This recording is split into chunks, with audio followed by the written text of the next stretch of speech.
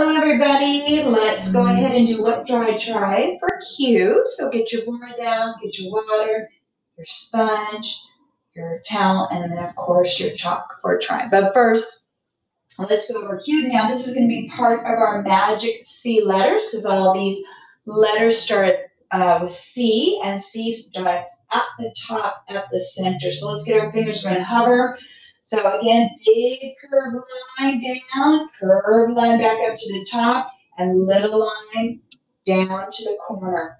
All right, let's do our what? Put our sponge in, squeeze, squeeze, squeeze.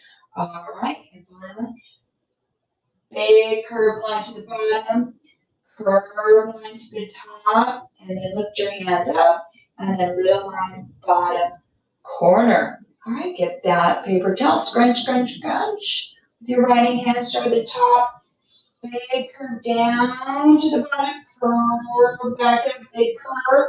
Lift your hand up, little line at the bottom.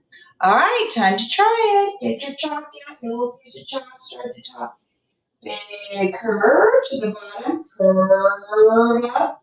Another big curve to the top, stop. Now come down to the bottom, little line in the corner and you've got the Q. Awesome job, guys.